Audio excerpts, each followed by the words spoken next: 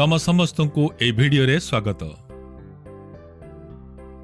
ଆମ ପୂର୍ବ ଭିଡିଓରେ ଆମେ ନିଜ ଆଖପାଖରେ ଥିବା ସ୍ଥାନଗୁଡ଼ିକର ପ୍ରତିଚିତ୍ରଣ ଅର୍ଥାତ୍ ମ୍ୟାପିଂ କରିବା ଶିଖିଛେ।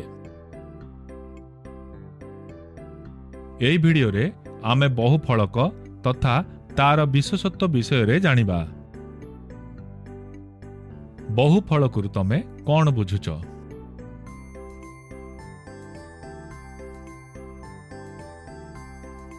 ବହୁଭୁଜଗୁଡ଼ିକର ସେହି ସମୂହ ଯାହା ପରସ୍ପର ସହିତ କୋଣ ଦ୍ୱାରା ଯୋଡ଼ି ହୋଇଥାଏ ତାହାକୁ ବହୁ ଫଳକ କୁହାଯାଏ। ବହୁ ଫଳକର ପ୍ରତ୍ୟେକ ପୃଷ୍ଠକୁ ଫଳକ କହନ୍ତି। କ'ଣ ତମେ ଏହି ବହୁ ଫଳକର କୋଣ ଆଉ ଶୀର୍ଷ କହିପାରିବ?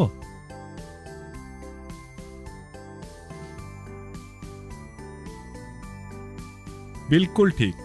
ଫଳକ ଯେଉଁଠାରେ ମିଶେ ତାହା କୋଣ ତଥା ଯେଉଁଠାରେ କୋଣ ମିଶେ ତାକୁ ବିନ୍ଦୁ ଶୀର୍ଷ କୁହାଯାଏ। ଆସ ଏବେ ଗୋଟେ ଉଦାହରଣ ସାହାଯ୍ୟରେ ବହୁ ଫଳକର ଫଳକ କୋଣ ଆଉ ଶୀର୍ଷ ଗୁଡ଼ିକ ମଧ୍ୟରେ ସମ୍ପର୍କ ଜାଣିବା। ଅଧ୍ୟାପିକା ଅଷ୍ଟମ ଶ୍ରେଣୀ ପିଲାଙ୍କୁ ଗୋଟିଏ କାର୍ଯ୍ୟକଳାପ କରାଉଛନ୍ତି। ସେ ଏହି ବହୁ ଫଳକ କ୍ରମଶଃ ରାଜୁ ମୋନୁ ଆଉ ପାୟଲକୁ ଦେଲେ। ଫଳକ କୋଣ ଆଉ ଶୀର୍ଷ ଗୁଡ଼ିକ ସଂଖ୍ୟାକୁ କ୍ରମଶଃ ଏଫ୍ ଇ ଆଉ ଭିରେ ଦେଖାଯାଉଛି। କ'ଣ ତମେ ରାଜୁ ମୋନୁ ଆଉ ପାୟଲ ଏହି ତାଲିକା ପୂରଣ କରିବାରେ ସାହାଯ୍ୟ କରିପାରିବ କି? ଆମେ ଘନରୁ ଆରମ୍ଭ କରିବା। ଯେମିତି ଆମେ ଦେଖିପାରୁଛୁ ଘନରେ ଛଅ ଫଳକ ବାରଟି କୋଣ ଆଉ ଆଠଟି ଶୀର୍ଷ ଅଛି। ଏଫ୍ ଆଉ ଭିର ଯୋଗଫଳ ଚଉଦ ଅଟେ। ତଥା କୋଣ ଆଉ ଦୁଇର ଯୋଗଫଳ ବି ଚଉଦ ଅଟେ। ଆସନ୍ତୁ ଏବେ ଅଷ୍ଟଫଳକ ଅକ୍ଟାହେଡ୍ରନ୍ କୁ ଦେଖିବା। ଯେମିତି ଆମେ ଦେଖିପାରୁଛେ ଅଷ୍ଟଫଳକରେ ଆଠ ଗୋଟି ଫଳକ ବାରଟି କୋଣ ଆଉ ଛଅଟି ଶୀର୍ଷ ରହିଛି। ଏଠାରେ ବି ଆମେ ଦେଖିପାରିବା କି ଏଫ୍ ଆଉ ଭିର ଯୋଗଫଳ ଚଉଦ ଅଟେ। ଇ ଆଉ ଦୁଇର ଯୋଗଫଳ ବି ଚଉଦ ହିଁ ଅଟେ। ଆସନ୍ତୁ ଏବେ ପାୟଲର ସହାୟତା କରିବା। ଯେପରିକି ଆମେ ଦେଖିପାରୁଛୁ ପିରାମିଡର ଚାରୋଟି ଫଳକ ଛଅଟି କୋଣ ଆଉ ଚାରିଟି ଶୀର୍ଷ ଅଛି। ଏଫ୍ ଆଉ ଭିର ଯୋଗଫଳ ଆଠ ଅଟେ।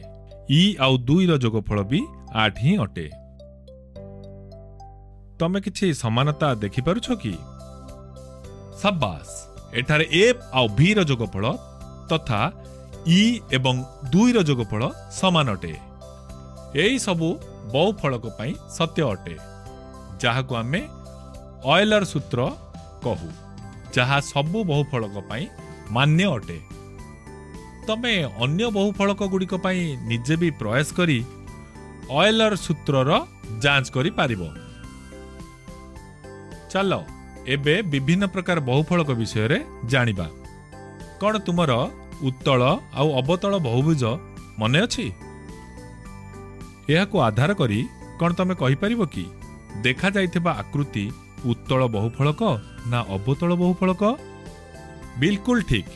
କାହିଁକି ନା ଏହି ଆକୃତି ଭିତରେ କୌଣସି ବି ବିନ୍ଦୁକୁ ଯୋଡୁଥିବା ରେଖାଖଣ୍ଡ ଆକୃତିର ବାହାରେ ବି ଥାଇପାରନ୍ତି। ଏଥିପାଇଁ ଏହା ଏକ ଅବତଳ ବହୁଫଳକ ଅର୍ଥାତ୍ କନକେଭ୍ ପଲିହାଇଡ୍ରୋନ୍। ଆସ ଏବେ ସମ ବହୁଫଳକ ଉପରେ ଚର୍ଚ୍ଚା କରିବା।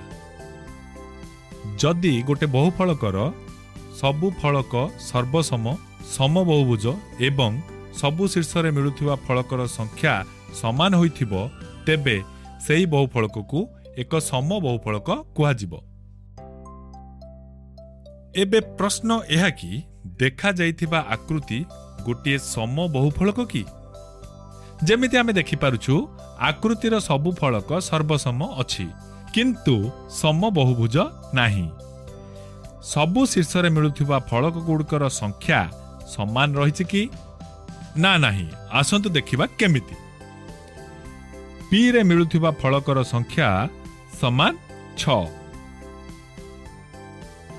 ତିନି ଫଳକ ଆଗପଟୁ ଆଉ ତିନି ଫଳକ ପଛପଟୁ। କ୍ୟୁରେ ମିଳୁଥିବା ଫଳକର ସଂଖ୍ୟା ସମାନ ତିନି। ଶୀର୍ଷରେ ମିଳୁଥିବା ଫଳଗୁଡ଼ିକର ସଂଖ୍ୟା ଅସମାନ ଅଟେ। ଆଉ ସମବହୁଭୁଜ ବି ନୁହେଁ। ଏଇଥିପାଇଁ ଏହି ଆକୃତି ସମବହୁ ଫଳକ ନୁହେଁ। ଆଜି ଏହି ଭିଡିଓରେ ଆମେ ବହୁ ଫଳକର ବିଶେଷତ୍ୱ ତଥା ଅଏଲର ସୂତ୍ରକୁ ବୁଝିଲୁ। ଆଗାମୀ ଭିଡିଓରେ ଆମେ କିଛି ବିଶିଷ୍ଟ ବହୁ ଫଳକ ପ୍ରିଜମ ତଥା ପିରାମିଡକୁ ବୁଝିବା।